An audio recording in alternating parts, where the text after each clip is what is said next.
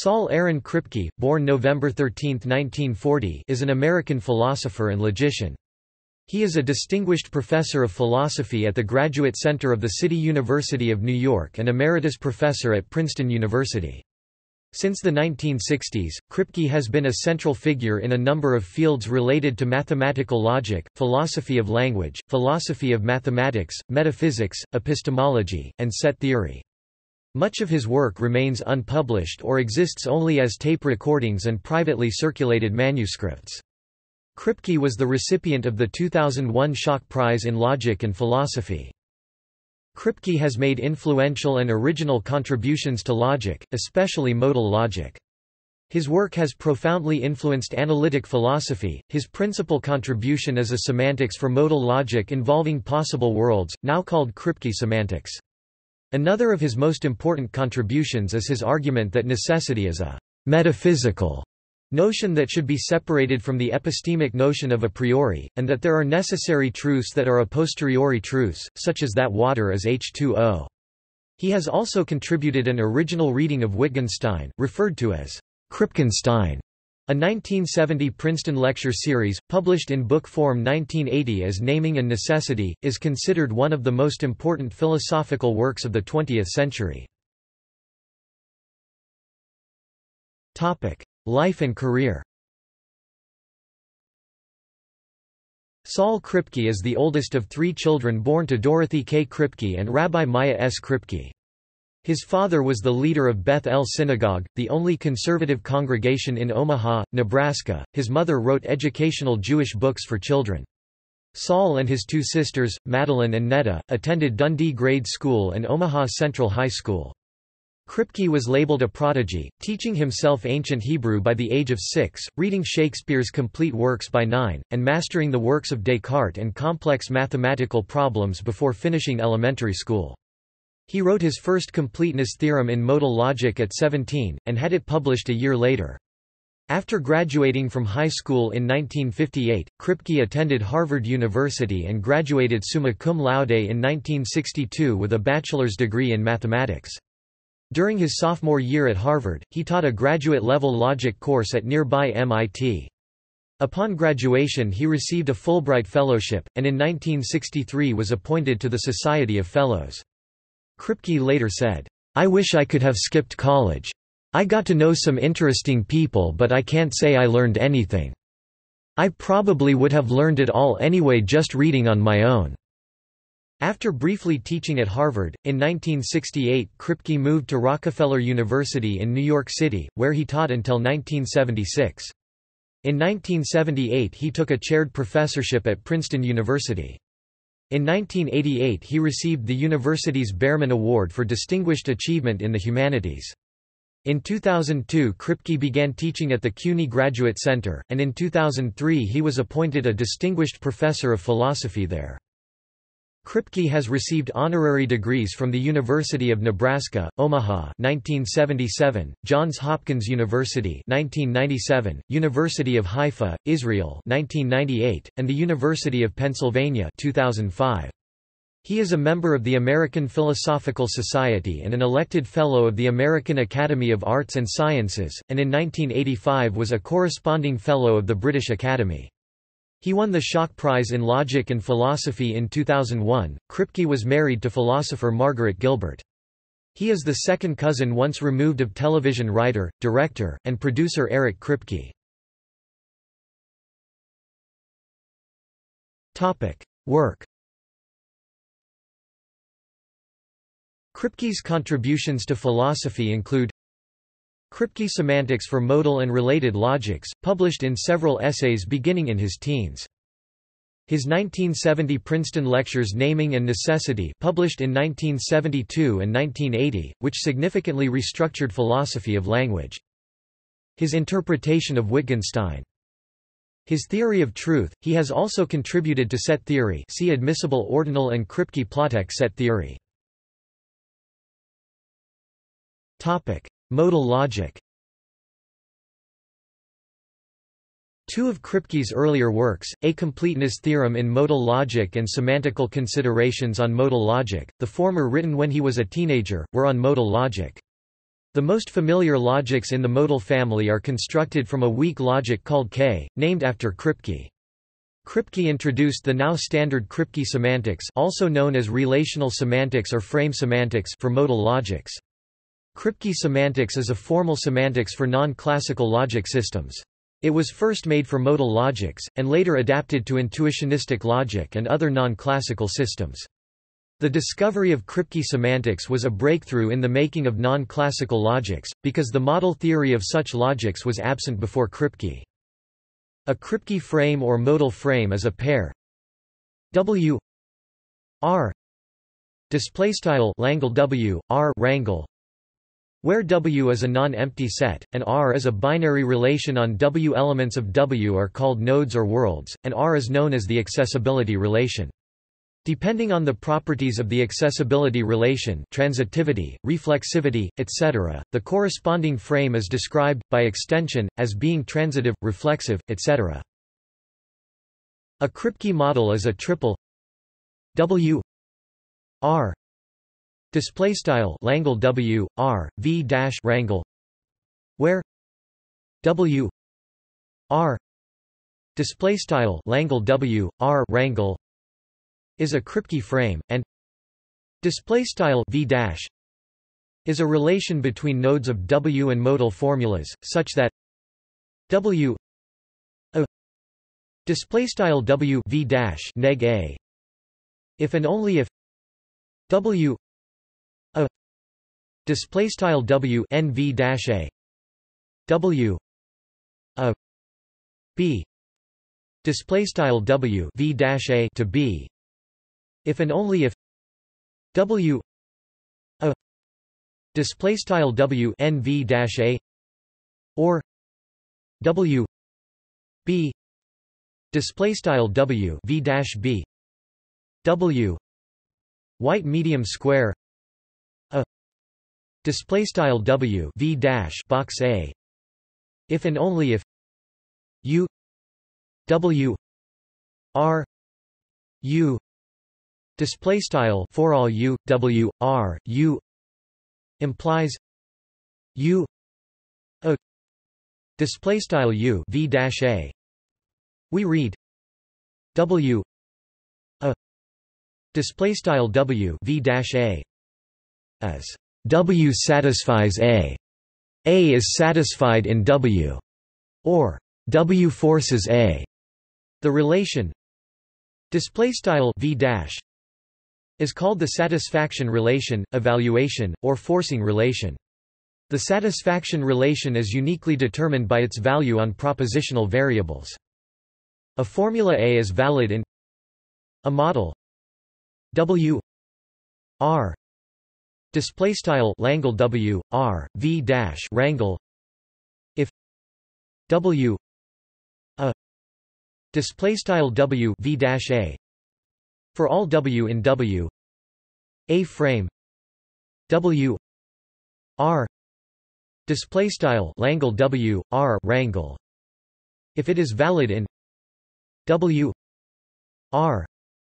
Display style Langle W R V dash rangle for all possible choices of display style v dash a class C of frames or models, if it is valid in every member of C we define THM C to be the set of all formulas that are valid in C conversely, if X is a set of formulas, let mod X be the class of all frames which validate every formula from X a modal logic i.e., a set of formulas L is sound with respect to a class of frames C, if LTHM C L is complete with respect to C if LTHM C. Semantics is useful for investigating a logic i.e., a derivation system only if the semantical entailment relation reflects its syntactical counterpart, the consequence relation derivability. It is vital to know which modal logics are sound and complete with respect to a class of Kripke frames, and for them, to determine which class it is. For any class C of Kripke frames, THM C is a normal modal logic in particular, theorems of the minimal normal modal logic, K, are valid in every Kripke model. However, the converse does not hold generally.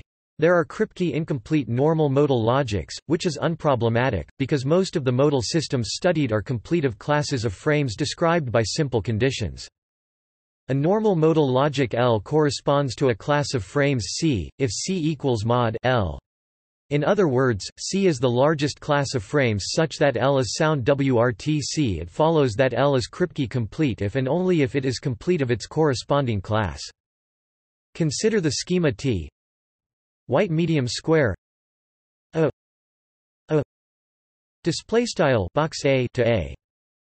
T is valid in any reflexive frame. W R. Display style Langle W R rangle W. White medium square. A. Display style W V dash box A. Then W. A. Display style W V dash A. Since WRW on the other hand, a frame which validates T has to be reflexive, fix W element of W, and define satisfaction of a propositional variable P as follows. U P display style u v dash p. If and only if w are u. Then w white medium square p. Display style w v dash box p. Thus w p. Display style w v dash p by t which means wrw using the definition of display style v dash T corresponds to the class of reflexive Kripke frames. It is often much easier to characterize the corresponding class of L than to prove its completeness, thus correspondence serves as a guide to completeness proofs. Correspondence is also used to show incompleteness of modal logics, suppose L1 L2 are normal modal logics that correspond to the same class of frames, but L1 does not prove all theorems of L2. Then L1 is Kripke incomplete. For example, the schema white medium square a white medium square a white medium square a display style box a equiv box a to box a generates an incomplete logic, as it corresponds to the same class of frames as GL viz., transitive and converse well-founded frames, but does not prove the GL tautology. White medium square a white medium square white medium square a display style box a to box box a topic canonical models for any normal modal logic L, a Kripke model called the canonical model can be constructed, which validates precisely the theorems of L, by an adaptation of the standard technique of using maximal consistent sets as models. Canonical Kripke models play a role similar to the Lindenbaum-Tarski algebra construction in algebraic semantics. A set of formulas is L-consistent if no contradiction can be derived from them using the axioms of L, and modus ponens. A maximal L-consistent set an LMCS for short is an L-consistent set which has no proper L-consistent superset. The canonical model of L is a Kripke model W R Display style Langle W R V dash Rangle, where W is the set of all LMCS, and the relations R and display style V dash are as follows: X R Y. Display style X R Y. If and only if for every formula. A. Display style a. If. White medium square element of x display style box a in x then a element of y display style a in y x a display style x v dash a if and only if a element of x display style a in x the canonical model is a model of L, as every LMCS contains all theorems of L by Zorn's lemma, each L-consistent set is contained in an LMCS, in particular every formula unprovable in L has a counterexample in the canonical model. The main application of canonical models are completeness proofs. Properties of the canonical model of K immediately imply completeness of K with respect to the class of all Kripke frames. This argument does not work for arbitrary L, because there is no guarantee that the underlying frame of the canonical model satisfies the frame conditions of L. We say that a formula or a set X of formulas is canonical with respect to a property P of Kripke frames, if X is valid in every frame which satisfies P. For any normal modal logic L which contains X, the underlying frame of the canonical model of L satisfies P. A union of canonical sets of formulas is itself canonical. It follows from the preceding discussion that any logic axiomatized by a canonical set of formulas is Kripke complete, and compact. The axioms T, 4, D, B, 5H, G and thus any combination of them are canonical. GL and GRZ are not canonical, because they are not compact. The axiom M by itself is not canonical Goldblatt, 1991, but the combined logic S4.1 in fact, even K4.1 is canonical. In general, it is undecidable whether a given axiom is canonical. We know a nice sufficient condition. H. Sahlqvist identified a broad class of formulas now called Sahlqvist formulas such that a Sahlqvist formula is canonical the class of frames corresponding to a Sahlqvist formula is first-order definable. There is an algorithm which computes the corresponding frame condition to a given Sahlqvist formula. This is a powerful criterion. For example, all axioms listed above as canonical are equivalent to Sahlqvist formulas. A logic has the finite model property FMP if it is complete with respect to a class of finite frames. An application of this notion is the decidability question. It follows from Post's theorem that a recursively axiomatized modal logic L which has FMP is decidable, provided it is decidable whether a given finite frame is a model of L in particular. Every finitely axiomatizable logic with FMP is decidable. There are various methods for establishing FMP for a given logic. Refinements and extensions of the canonical model construction often work, using tools such as filtration or unraveling. As another possibility, completeness proofs based on cut-free sequent calculi usually produce finite models directly. Most of the modal systems used in practice including all listed above have FMP. In some cases, we can use FMP to prove Kripke completeness of a logic. Every normal modal logic is complete WRT a class of modal algebras, and a finite modal algebra can be transformed into a Kripke frame. As an example, Robert Bull proved using this method that every normal extension of S4.3 has FMP, and is Kripke complete. Kripke semantics has a straightforward generalization to logics with more than one modality. A Kripke frame for a language with white medium square i i element of i display style box underscore i mid i in i. As the set of its necessity operators consists of a non-empty set W equipped with binary relations re for each i element of i. The definition of a satisfaction relation is modified as follows. W white medium square i a Display style W V dash box underscore I A. If and only if U W R I U U a. Display style for all U W R underscore I U right arrow U V dash a. Topic. Carlson models a simplified semantics, discovered by Tim Carlson, is often used for polymodal provability logics. A Carlson model is a structure W R D I I element of I display style Langle W R D underscore I underscore I in I V dash rangle with a single accessibility relation R, and subsets dW for each modality.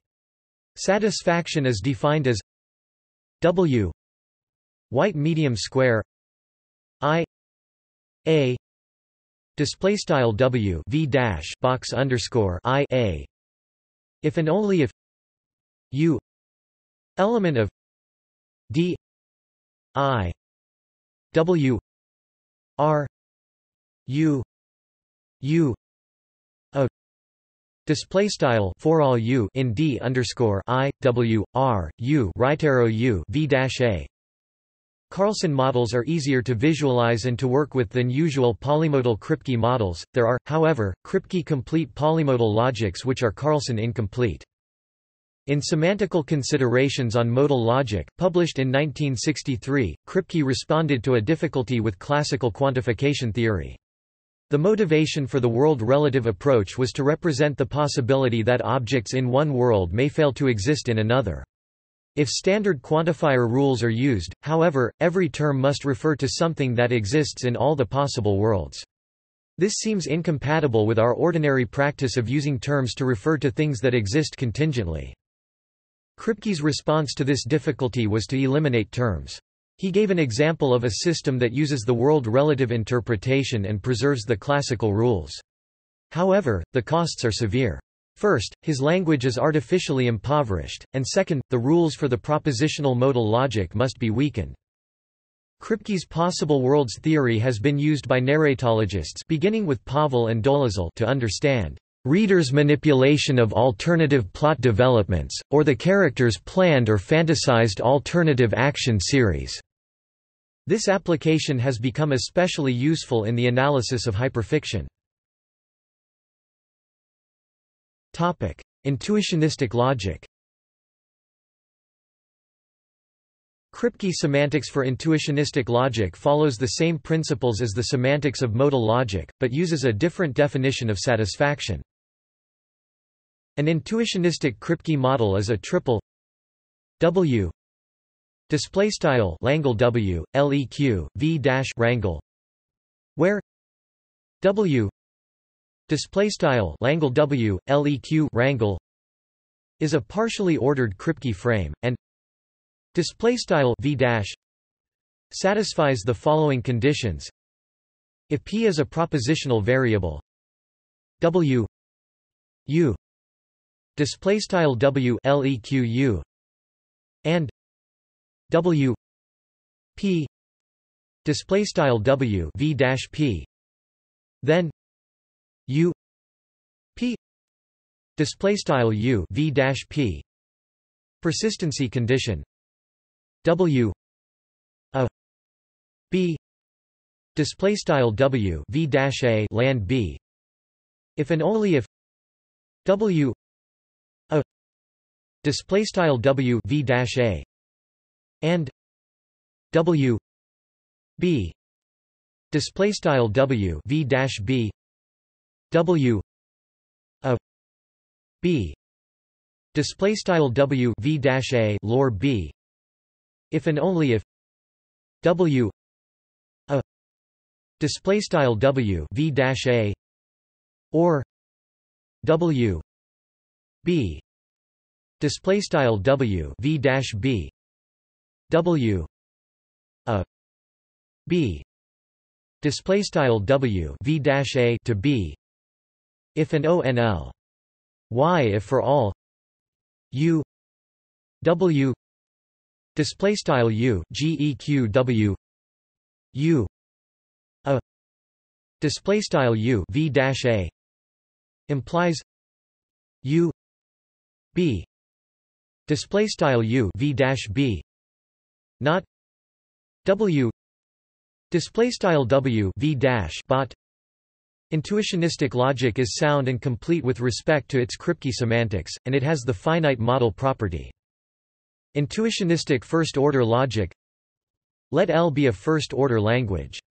A Kripke model of L is a triple W M W W element of W Display style Langle W LEQ M underscore W underscore W in W rangle where W display style Langle W LEQ wrangle is an intuitionistic Kripke frame. MW is a classical L structure for each node W element of W, and the following compatibility conditions hold whenever UV. The domain of mu is included in the domain of MV. Realizations of function symbols in mu and mv agree on elements of mu. For each n-ary predicate p and elements a1, an element of mu, if p a1 and holds in mu, then it holds in mv. Given an evaluation E of variables by elements of MW, we define the satisfaction relation W A E display style W V A E W P T 1 T N E display style W V dash P T underscore 1 dots T underscore N E. If and only if P T 1 E T N E display style P T underscore 1 E dots T underscore N E holds in MW W. A B E. Display style W V dash a land B E. If and only if W A E. Display style W V dash A E. And W B E. Display style W V dash B E. W. A. B. E. Display style W V dash a lor B E. If and only if W. A. E. Display style W V dash a E. Or W. B. E display style W V dash B E W a B E. Display style W V dash a to B E. If and only if for all. U W. Display style U GEQ W. U A E. Display style U V dash A E. Implies U B E. Display style U V dash B E. Not W E. Display style W V dash bot E. W X A E. Display style W V dash exists X A E. If and only if there exists an a element of M W display style in M underscore W such that W A E X a display style W V dash a E X to a W X A E display style W V dash for all X A E if and only if for every U W display style U GEQ and every a element of M U display style a in M underscore U U A E X a display style U V dash a E X to a here E x a is the evaluation which gives X the value A, and otherwise agrees with E. Topic. Naming and necessity The three lectures that form naming and necessity constitute an attack on descriptivist theory of names. Kripke attributes variants of descriptivist theories to Frege, Russell, Wittgenstein and John Searle, among others. According to descriptivist theories, proper names either are synonymous with descriptions, or have their reference determined by virtue of the names being associated with a description or cluster of descriptions that an object uniquely satisfies. Kripke rejects both these kinds of descriptivism. He gives several examples purporting to render descriptivism implausible as a theory of how names get their references determined e.g., surely Aristotle could have died at age 2 and so not satisfied any of the descriptions we associate with his name, but it would seem wrong to deny that he was still Aristotle. As an alternative, Kripke outlined a causal theory of reference, according to which a name refers to an object by virtue of a causal connection with the object as mediated through communities of speakers. He points out that proper names, in contrast to most descriptions, are rigid designators, that is, a proper name refers to the named object in every possible world in which the object exists, while most descriptions designate different objects in different possible worlds. For example, Richard Nixon refers to the same person in every possible world in which Nixon exists, while the person who won the United States presidential election of 1968 could refer to Nixon, Humphrey, or others in different possible worlds.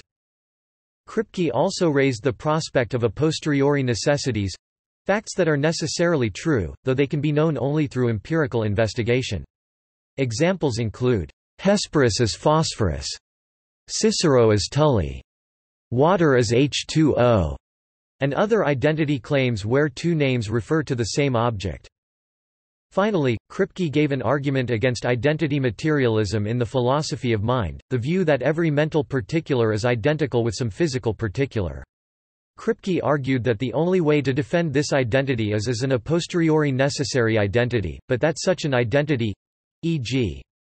that pain is C fibers firing, could not be necessary, given the clearly conceivable possibility that pain could be separate from the firing of C fibers, or the firing of C fibers be separate from pain. Similar arguments have since been made by David Chalmers. In any event, the psychophysical identity theorist, according to Kripke, incurs a dialectical obligation to explain the apparent logical possibility of these circumstances, since according to such theorists they should be impossible. Kripke delivered the John Locke Lectures in Philosophy at Oxford in 1973. Titled Reference and Existence, they are in many respects a continuation of Naming and Necessity, and deal with the subjects of fictional names and perceptual error. They were recently published by Oxford University Press. In a 1995 paper, philosopher Quentin Smith argued that key concepts in Kripke's new theory of reference originated in the work of Ruth Barcan Marcus more than a decade earlier. Smith identified six significant ideas in the new theory that he claimed Marcus had developed, 1 that proper names are direct references that do not consist of contained definitions, 2 that while one can single out a single thing by a description, this description is not equivalent to a proper name of this thing, 3 the modal argument that proper names are directly referential, and not disguised descriptions, 4 a formal modal logic proof of the necessity of identity, 5 the concept of a rigid designator, though Kripke coined that term, and 6 a post posteriori identity. Smith argued that Kripke failed to understand Marcus's theory at the time but later adopted many of its key conceptual themes in his new theory of reference. Other scholars have subsequently offered detailed responses arguing that no plagiarism occurred. A puzzle about belief Kripke's main propositions about proper names in naming and necessity are that the meaning of a name simply is the object it refers to and that a name's referent is determined by a causal link between some sort of baptism and the utterance of the name. Nevertheless, he acknowledges the possibility that propositions containing names may have some additional semantic properties, properties that could explain why two names referring to the same person may give different truth values in propositions about beliefs. For example, Lois Lane believes that Superman can fly, although she does not believe that Clark Kent can fly. This can be accounted for if the names, Superman and Clark Kent, though referring to the same person, have distinct semantic properties. But in his article, A Puzzle About Belief, Kripke seems to oppose even this possibility. His argument can be reconstructed as follows, the idea that two names referring to the same object may have different semantic properties is supposed to explain that coreferring names behave differently in propositions about beliefs as in Lois Lane's case. But the same phenomenon occurs even with coreferring names that obviously have the same semantic properties. Kripke invites us to imagine a French, monolingual boy, Pierre, who believes that Londres est jolie. London is beautiful. Pierre moves to London without realizing that London equals Londres. He then learns English the same way a child would learn the language, that is, not by translating words from French to English. Pierre learns the name, London, from the unattractive part of the city where he lives, and so comes to believe that London is not beautiful. If Kripke's account is correct, Pierre now believes both that Londres is jolie and that London is not beautiful. This cannot be explained by coreferring names having different semantic properties. According to Kripke, this demonstrates that attributing additional semantic properties to names does not explain what it is intended to. Wittgenstein First published in 1982, Kripke's Wittgenstein on Rules and Private Language contends that the central argument of Wittgenstein's philosophical investigations centers on a devastating rule-following paradox that undermines the possibility of our ever-following rules in our use of language. Kripke writes that this paradox is the most radical and original skeptical problem that philosophy has seen to date and that Wittgenstein does not reject the argument that leads to the rule-following paradox, but accepts it and offers a skeptical solution to ameliorate the paradox's destructive effects. Most commentators accept that philosophical investigations contains the rule-following paradox as Kripke presents it, but few have agreed with his attributing a skeptical solution to Wittgenstein. It should be noted that Kripke himself expresses doubts in Wittgenstein on rules and private language as to whether Wittgenstein would endorse his interpretation of philosophical investigations. He says that the work should not be read as an attempt to give an accurate statement of Wittgenstein's views, but rather as an account of Wittgenstein's argument, as it struck Kripke, as it presented a problem for him. The portmanteau, Kripkenstein, has been coined for Kripke's interpretation of philosophical investigations.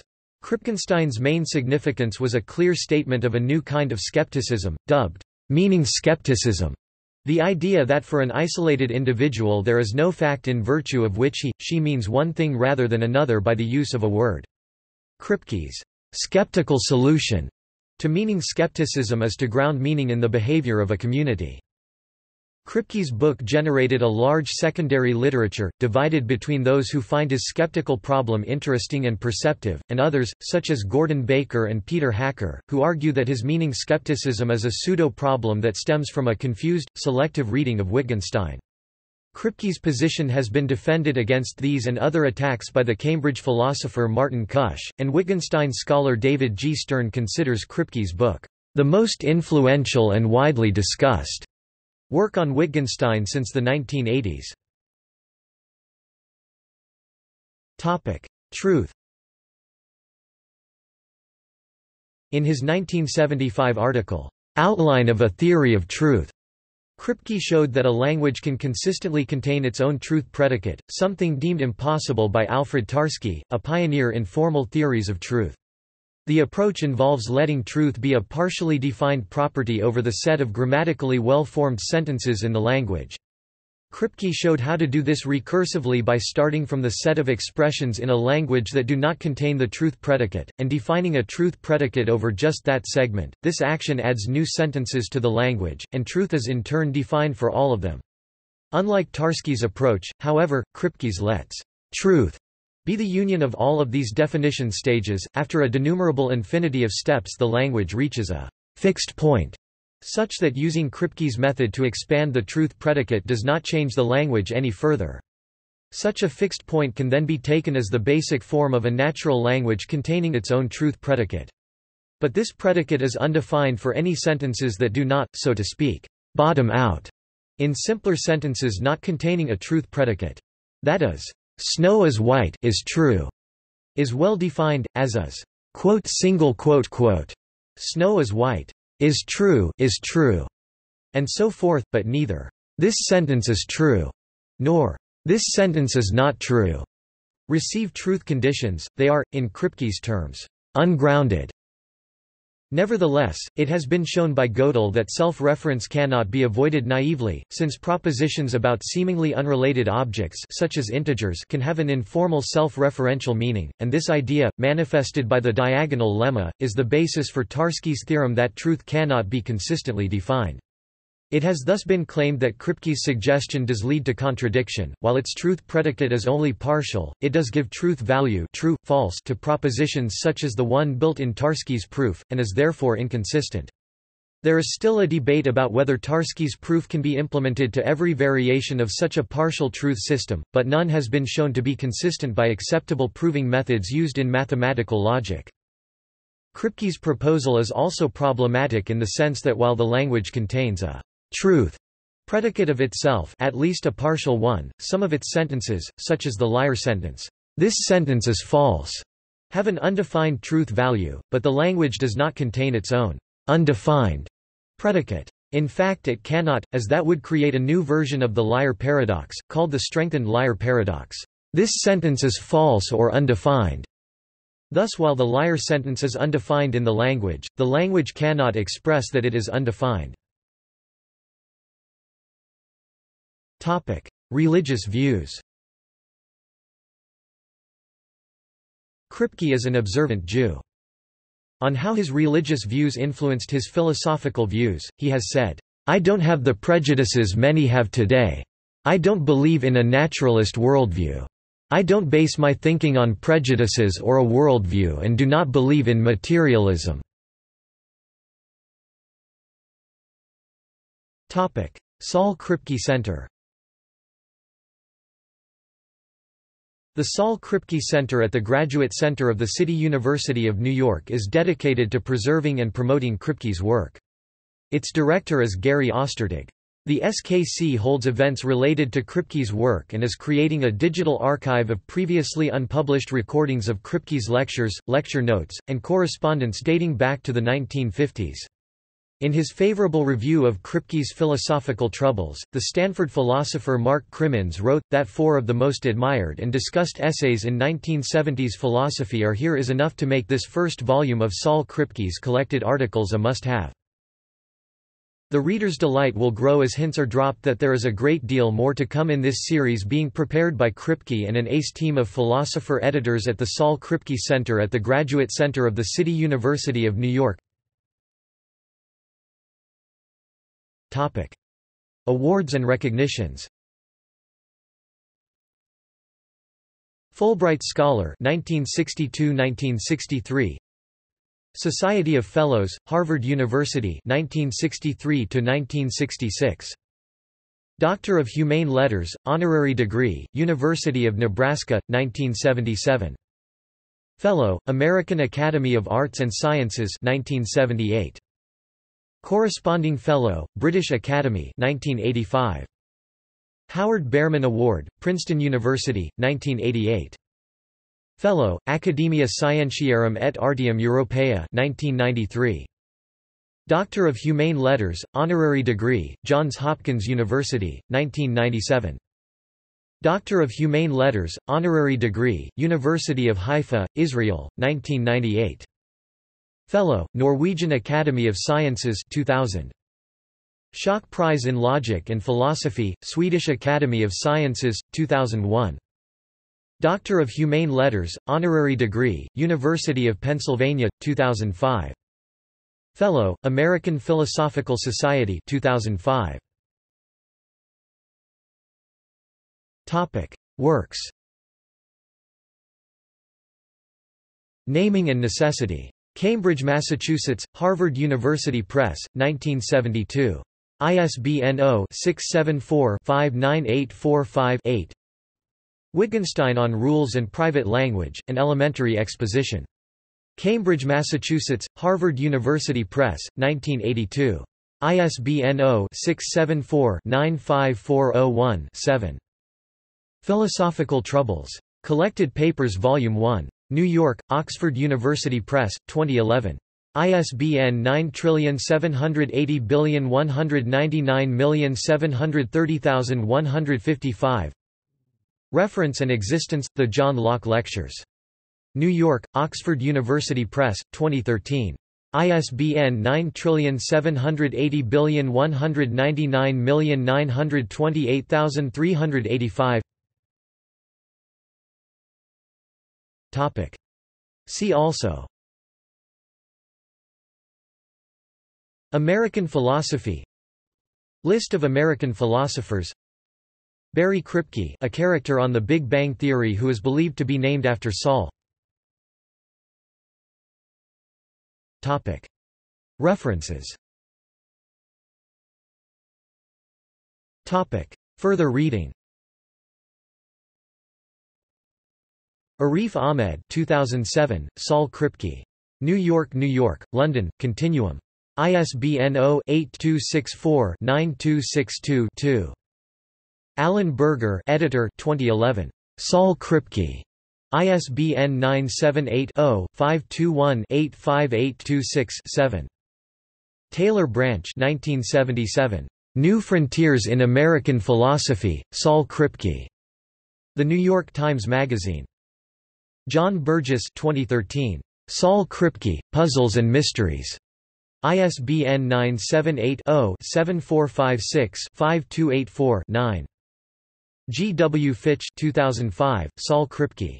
ISBN 0-7735-2885-7. Christopher Hughes 2004, Kripke, Names, Necessity, and Identity. ISBN 0-19-824107-0. Martin Kusch 2006, A Skeptical Guide to Meaning and Rules. Defending Kripke's Wittgenstein. Acumen, Publishing Limited.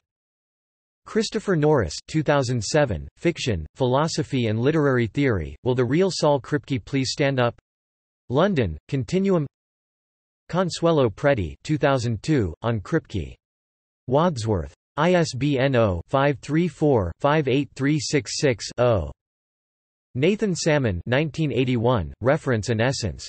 ISBN 1-59102-215-0 ISBN 978-1591022152 Scott Soames 2002, Beyond Rigidity, The Unfinished Semantic Agenda of Naming and Necessity. ISBN 0-19-514529-1. External links. CUNY Graduate Center Philosophy Department faculty page. The Saul Kripke Center, at the CUNY Graduate Center. Saul Kripke's archive on the CUNY Philosophy Commons. Second Annual Saul Kripke Lecture by John Burgess on the Necessity of Origin at the CUNY Graduate Center, November 13, 2012 Saul Kripke at the Mathematics Genealogy Project. Saul Kripke, Genius Logician. A short, non-technical interview by Andreas Saugstad, February 25, 2001. The conference in honor of Kripke's 65th birthday with a video of his speech, The First Person, January 25–26, 2006 Video of his talk, From Church's Thesis to the First Order Algorithm Theorem, June 13, 2006. Podcast of his talk, Unrestricted Exportation and Some Morals for the Philosophy of Language, May 21, 2008. London Review of Books article by Jerry Fodor discussing Kripke's work. Celebrating CUNY's Genius Philosopher, by Gary Shapiro, January 27, 2006, in The New York Sun. Information from Wisdom Supreme website. A New York Times article about his 65th birthday Roundtable on Kripke's critique of mind-body identity with Scott Soames as the main presenter May 26, 2010